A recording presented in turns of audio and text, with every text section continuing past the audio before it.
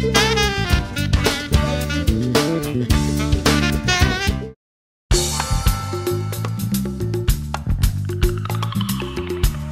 Apresentação das candidatas do Rio Claro aqui no Casarão da Cultura. Se tem um cargo bom nessa vida, é o cargo de secretário de turismo. Por, por mais que ele trabalhe, ele está sempre no meio de mulheres bonitas, de festa, de acontecimentos sociais que distribuem alegria por toda a população. Então, por mais trabalhoso que seja o seu cargo, eu tenho certeza, René Neubayer, que você é, se sente bem nessa posição, você que é tão extrovertido, você que é tão simpático com todo mundo, eh, coube este cargo a você de secretário do turismo, assim como uma luva. É, mas você não sabe o cansaço que a gente está após o carnaval, já com outro evento em Rio Claro, e daqui a pouco nós já estamos trabalhando em cima da paixão de Cristo, que nós damos a infraestrutura total para as igrejas.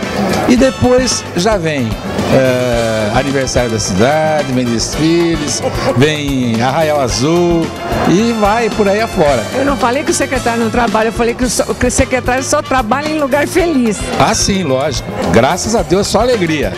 Só alegria. Como é que você está vendo esse concurso, Renê? Eu estou bastante animado com esse concurso. Você viu, as meninas são lindas e a gente sabe que é difícil você juntar beleza e, e medidas, não é? E para que elas possam se apresentar, né? Uh, de acordo com o regulamento do concurso, não é fácil. Mas eu acho que a gente vai concorrer em condição de igualdade com qualquer cidade aí. Tenho certeza. Rio Claro é muito bairrista, né? A população ela, ela se une em torno de, de um acontecimento, de um, em torno de alguém que esteja representando essa cidade azul. Eu tenho certeza que vai ser sucesso garantido no Miss São Paulo. Parabéns. Eu tenho certeza e todo mundo torce, né? Rio Claro, o bom de Rio Claro é isso. Todo mundo torce pelo melhor pela cidade. Será o melhor.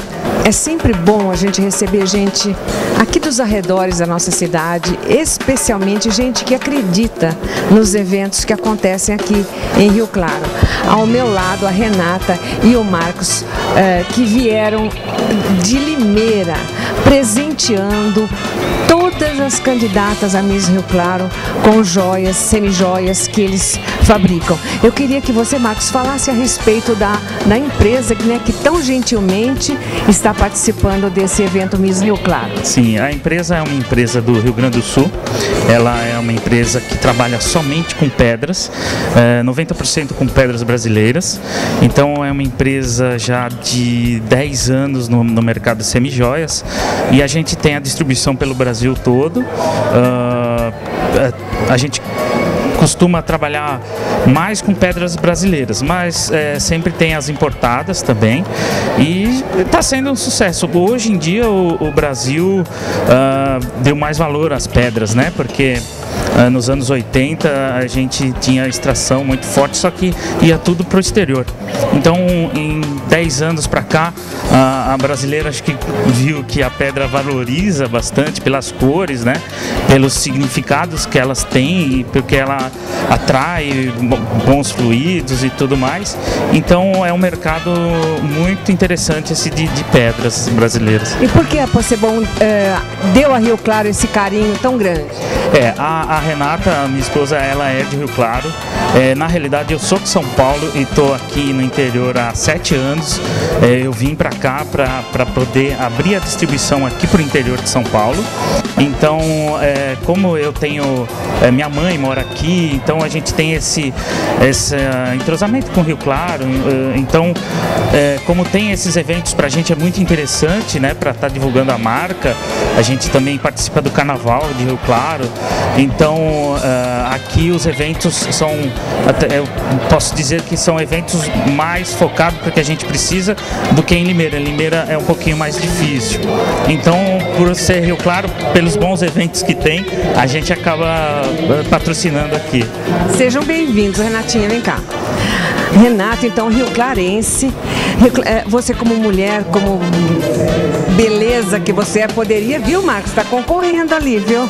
Poderia estar tá lá no meio das, das candidatas a Miss. Como é que você é, vê essa presença da Possebon aqui em Rio Claro? Eu acho muito importante, né? Porque as pedras, elas vêm para valorizar a mulher, né? E ela tem... Só para você ver. Ó, e eu nem sabia que vocês iam estar tá aqui.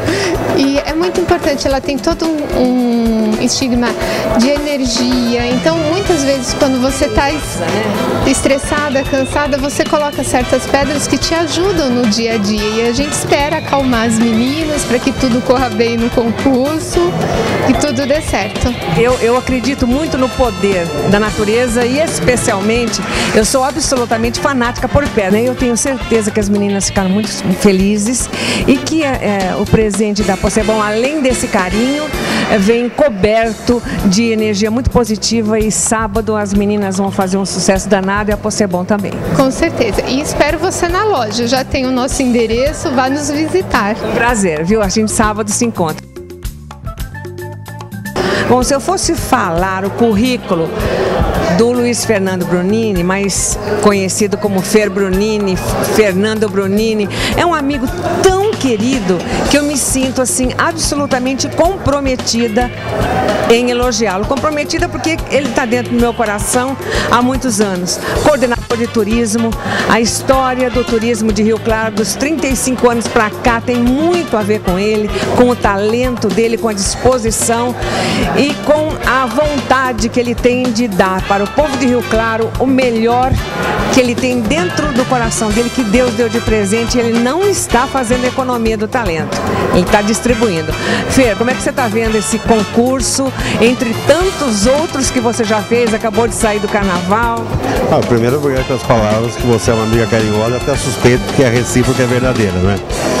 Eu estou acabando de sair do carnaval, então hoje que eu conheci as candidatas. Eu estou dando uma mão no finalzinho do concurso, na, na parte da, da organização do desfile, mas a, a K2A Motos que, que, selecionou os candidatos e o Marquinho Gomes que está fazendo a coreografia. Então a parte final ficou para eu dar uma, uma, uma mão para eles, porque o carnaval é muito cansativo, você sabe como é que é, né? Hoje. São 35 anos, eu já não tenho mais 18, então já estou na hora de pendurar a chuteira, como dizem, como dizem por aí. Mas eu fiquei surpreso com o nível das meninas. Sabe, temos candidatas bonitas, temos chance de ser selecionados para o Miss São Paulo. Não sei se vocês sabem, a candidata de Rio Claro não vai direto para o São Paulo. Ela participa de uma seletiva na Band e 30 meninas são selecionadas. Já sabe o dia? Parece que é 15 de abril. E só 30 são selecionadas. Então, nós temos uma menina aqui com condições de participar do Miss São Paulo, fazer bonito. Se não for Miss São Paulo, pelo menos entre as cinco mais bonitas do estado. Representou bem a cidade. Representou a Karine, a Milena representou muito bem. No ano passado eu até não entendi porque ela não ficou entre, entre as dez finalistas. Mas ela representou muito bem, foi uma Miss que orgulhou a cidade, não deu trabalho, fez um reinado espetacular. Eu só tenho elogios para a Milena Nilsevic. Então, olha, muito desse sucesso se deve ao Fernando Brunini e a gente tem um, um orgulho muito grande de apresentá-los.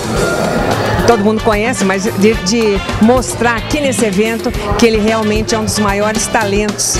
Rio Claro já ofereceu para o mundo e eu sou muito feliz por ser sua amiga. Eu sou seu fã e obrigado mais uma vez.